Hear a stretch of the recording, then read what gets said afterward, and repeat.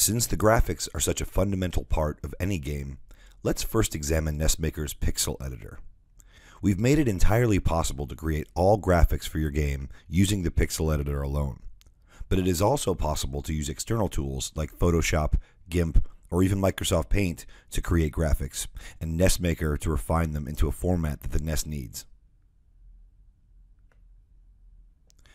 For NESmaker's default engine, different asset types require different size tile sets. If you would like to start with a blank canvas, we have made it easy for you to choose the appropriate size. Go to the Pixel Editor menu, select New BMP, and you will see a list of options.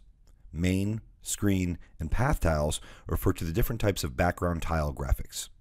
A full tile set is generally used for special screens such as start screen and win screen. HUD area is for the text or images you will want to use in your game's heads up display. Game objects is for game wide objects such as your player, power ups, or objects that may appear at any time on the screen regardless of what other graphics may be loaded. Monster tiles is for creating monster tile sets, which can be changed from screen to screen. We're going to begin by creating a main tile set. You can toggle on and off guides in the menu bar at the top of the interface. There is a button for turning on a pixel grid where you can see every pixel defined. Another shows an 8x8 grid, which is most optimal for working with game objects and monsters. Another shows a 16 by 16 grid, which is optimal for working with background tiles.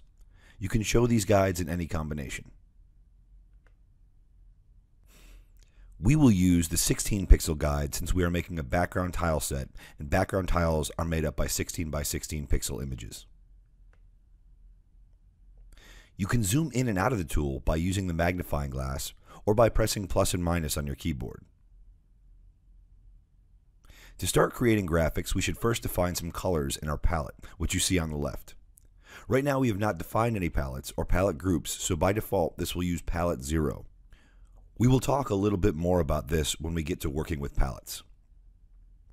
You'll notice that there are four color groups of four colors.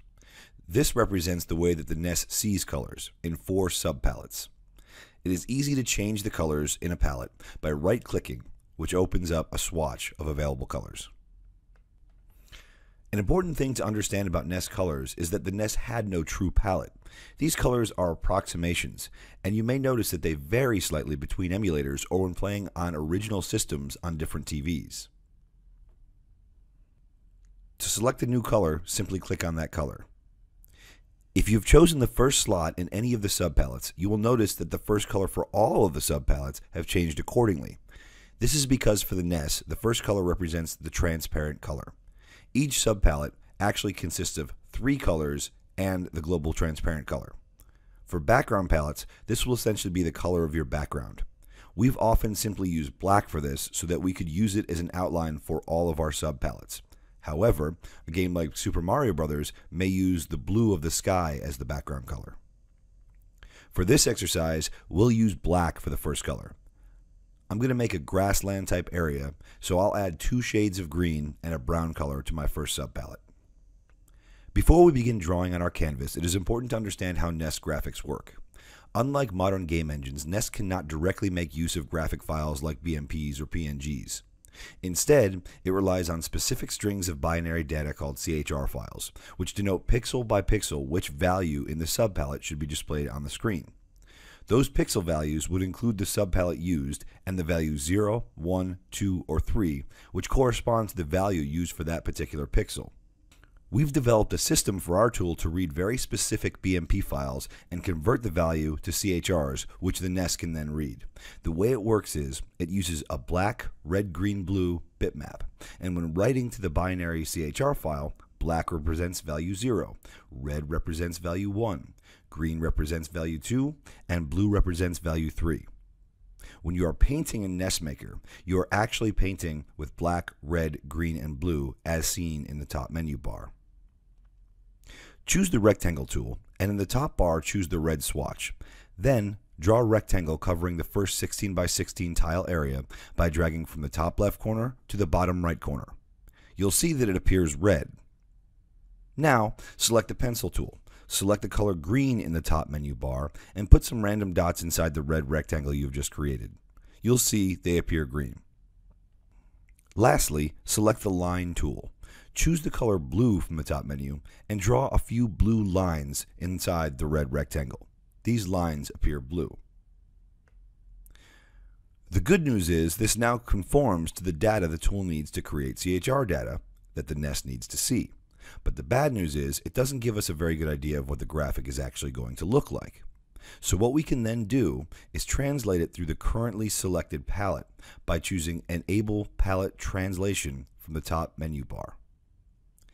Now we can see what the graphic would look like if this particular palette was loaded at the time of displaying it.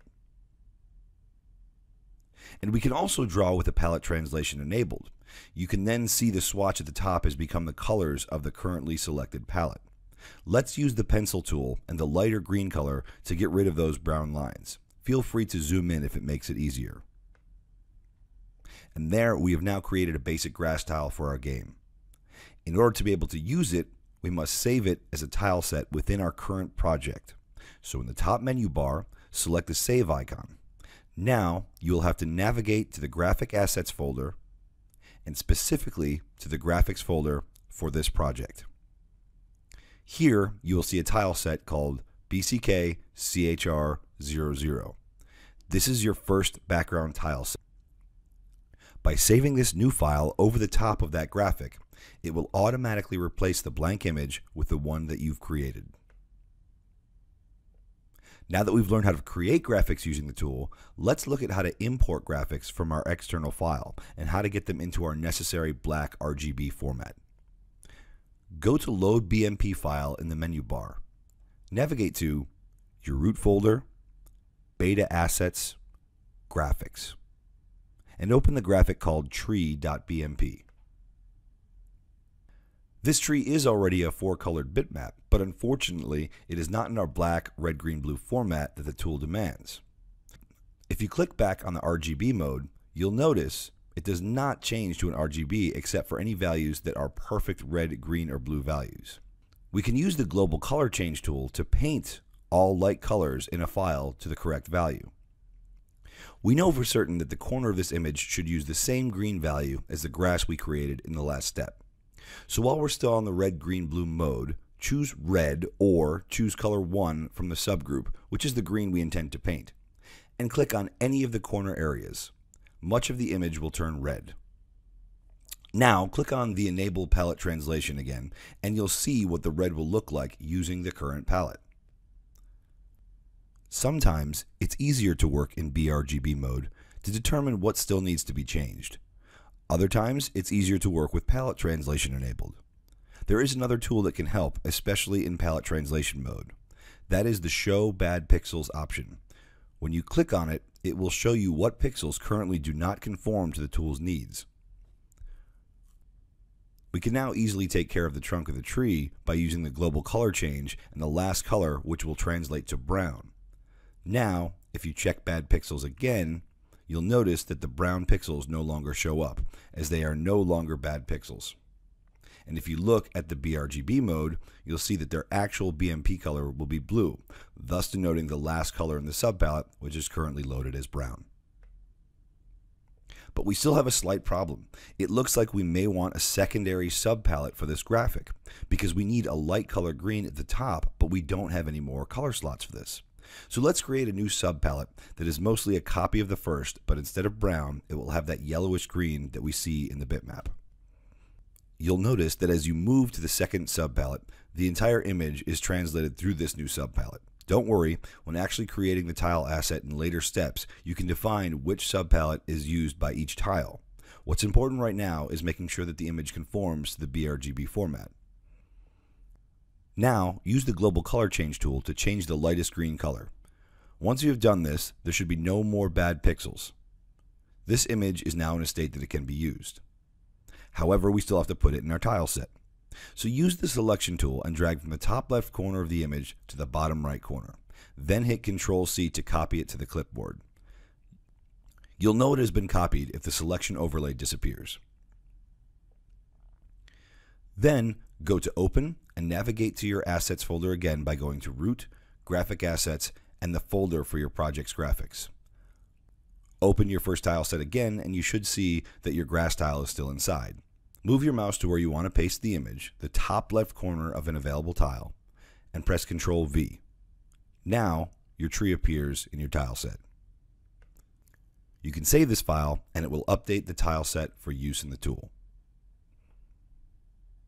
Hopefully this video has illustrated some of the features of NESmaker's Pixel Editor, how you can use it to create graphics, how you can import graphics used in an external program, and how you can use features in the tool to conform graphics to the NES limitations.